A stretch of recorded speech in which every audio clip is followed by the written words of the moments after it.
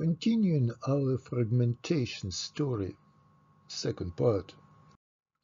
Just as a reminder, uh, you may have singlet when you have just cation and no radical. You can have doublet when you have radical and no charge. You may have ion radical when you have plus one charge and radical on the same entity. Now, the rules are that you need to have the same spin state in your products as you had at the start. So if you have cation radical, you should have cation and radical. Alternatively, you should have cation radical and neutral molecule. If you have positive ion with no radical, you should have positive ion with no radical at the end. And then we have Stevenson rule that fragmentation takes place, positive charge remains on the fragment with the lowest ionization energy. So continue looking at this. Very important is benzyl radical, CH2 with phenyl group. To start with, uh, where this plus a stain. You can draw this way, you can draw this way. In fact, uh, there is rearrangement to have seven-member ring, kind of unusual from point of view of usual organic chemistry. But you may remember that six unpaired electron makes aromatic. So these are Huckel low, 2n plus 2. So this seven-member ring will have the lowest energy, CH2 plus lower, and any combination with plus on phenyl ring will have much higher energy. This is the best choice for benzyl cation. Uh, alternative uh, route is uh, making phenyl times. So you, when you have phenyl group, you may have M to Z77 to, for phenyl cation, which is 6, 6H5. Now, when you have alkyl benzene, you seldom see 77, as in this example. You always see 91, just because of a very high stability of this entity.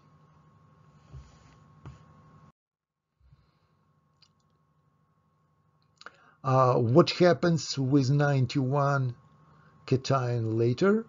It loses molecule of acetylene, C2H2, very stable molecule, and then loses the same molecule once again. So making 91, 65, 39 sequence. If you have phenylcation C6H5+, you again are losing C2H2, very stable fragment, to, to have C4H3 with 51. Uh, this is how you can see the difference between benzyl and phenyl 916539 sequence or alternatively 7751.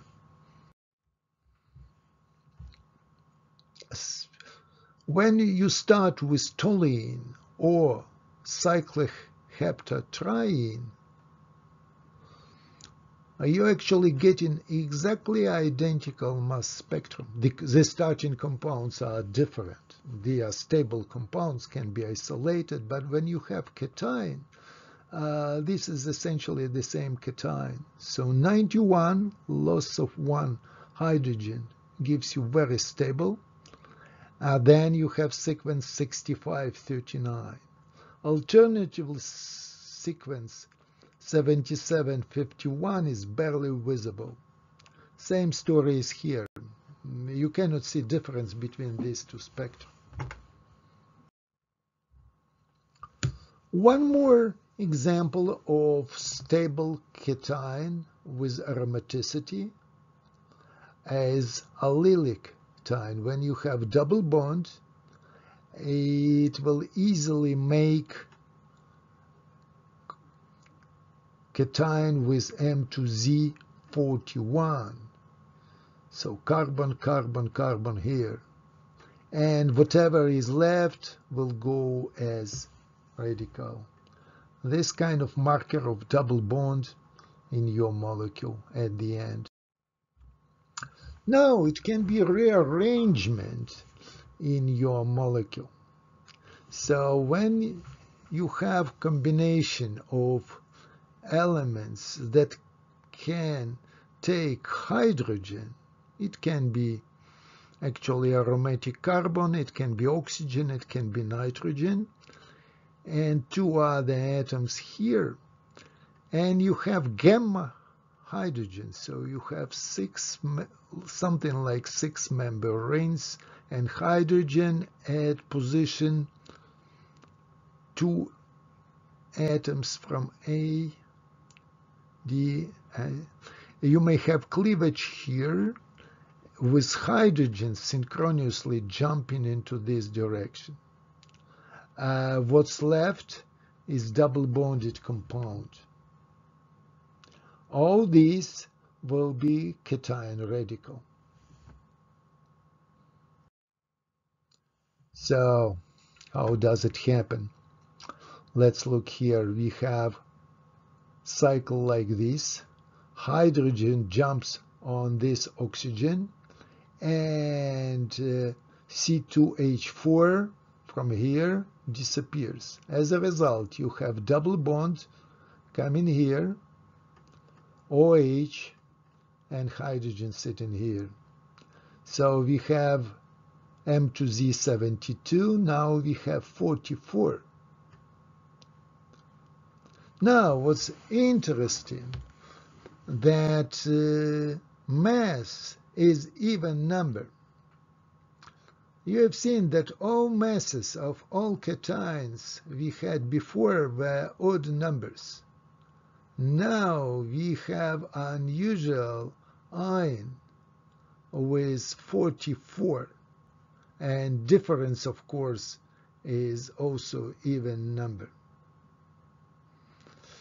Uh, it can be drawn in this fashion so you need to show that it's not only cleavage but addition of hydrogen. And uh, then uh, it's mass of 44 all alternative cleavages are just usual cations like here. Say propyl group and so on This is very common marker for carboxylic acids and their esters. You have ester fragment, oxygen, double bond, oxygen something. So when you have cleavage, you have series of McLafferty peaks at 60, 74, 88. So this is for hydrogen, then for methyl and for ethyl in our position. Uh, alternatively, you have alpha cleavage with 45, 59, 73, and uh, gamma cleavage with this again 73, 87, and 101. So that's how it happens with carboxylic acid.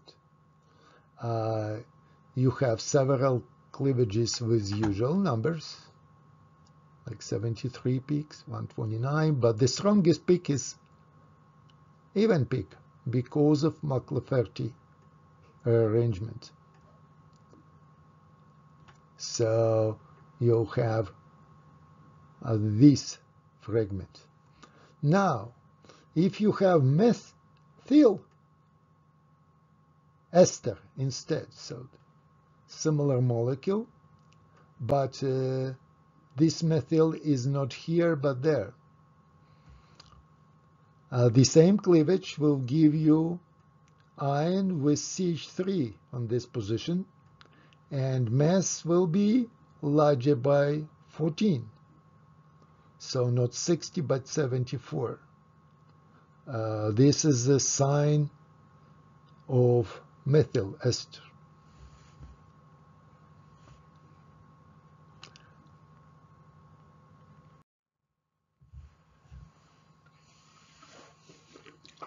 Uh, this process can be continued. You may have a rearrangement uh, of that sort once again, so you have difference 56 here, and then you have again difference of 28 here, making 60 again. So, options. Another similar cleavage. Hydrogen is jumping onto this position, cycle,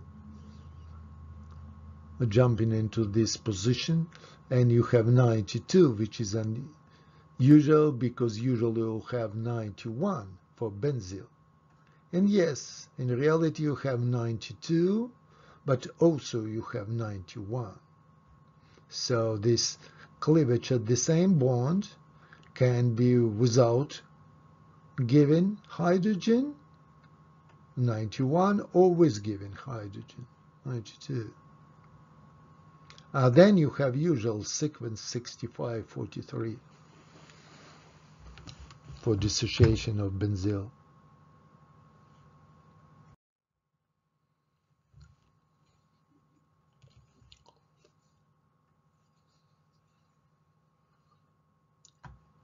For benzoic acid esters, it can be even more complex situation when you have uh,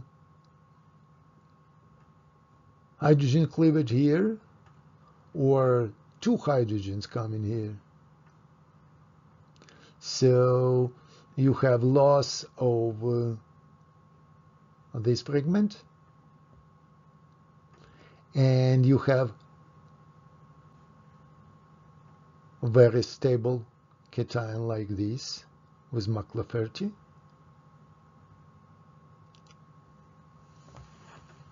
Alternatively, you can simply cleavage at this bond directly,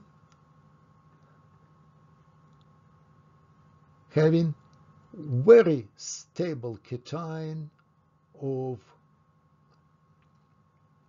CO connected to phenyl group. Uh, this is signature cation of uh, phenyl carboxylic compounds. Anytime you have phenyl carbonyl, you'll have M2Z105, very stable cation of the strongest peak in this spectrum. And that in turn dissociates giving carbon monoxide molecule and phenyl.